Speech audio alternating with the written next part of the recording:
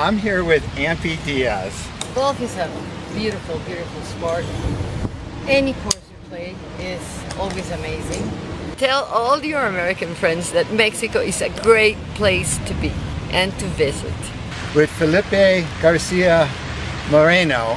Um, this course has been around for more than 100 years. It, it was the first golf club in Mexico.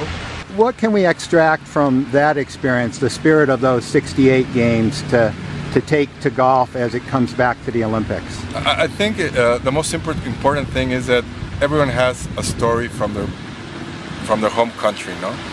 And, and it's not some, it's not just golf that you, that you're comparing with.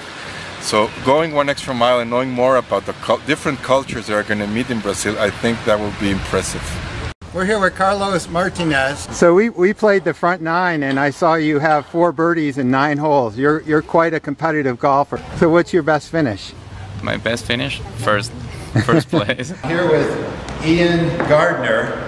Of course you have potential. We're all born to speak languages. What do you think of this fella, Andy Reistetter, and this journey to Olympic golf?